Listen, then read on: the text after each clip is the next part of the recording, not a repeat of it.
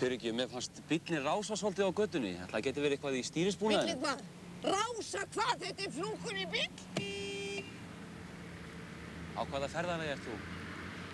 Þarf maður að vera okkur ferðalagi þó maður sé stattur á kvartum borgarinnar? Já, ég var nú bara að spyrja hvaðan það verði að koma. Djöfulan kemur þér það við. Er þetta persónu ofsóknir? Nei, þetta er nú bara formsatriði. Var frúin að vinna eftirvinnu eins og svo oft er. Það getur nú ekki allir snapað sér eftirvinn eins og því í löggunni. Ég var út að borða á holti með vinkonum mínum sporundriðin. Vilt ekki vita hvað við átum líka heimingið? Mætti fá svo aukurskirtinni. Já, var það ekki. Vilt ekki fá að sjá með brjóstin líka? Eða mynda mömmu?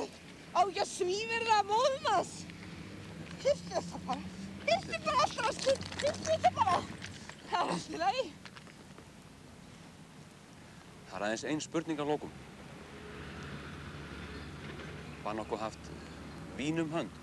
Nei, nei, nei, ég... Nei, nú er mælirinn fullur. Maður má ekkert í þessu þjóðfélagi. Maður má ekki fara út að borða með vinnu sínum og skemmta sér. Maður má ekki neitt fyrir ykkur fasistum. Viljið ekki aflífa mig bara? Viljið það ekki? Viljið ekki krossfesta mig á staðnum bara? Viljið það ekki? Nei, nei, ég... Fyrirgjöðu, ég, ég byrst innilegar afsökunar á þessu. Svo, Þetta átti nú... Fyrir, fyr, fyrirgjöðu, ég... Mér datt nú bara í hug hvort þið mætti ekki bjóða þér miða hérna á loka tónleika Lörglu Korsins. Hann verður haldinn hérna á Póstbræðarheimilinu.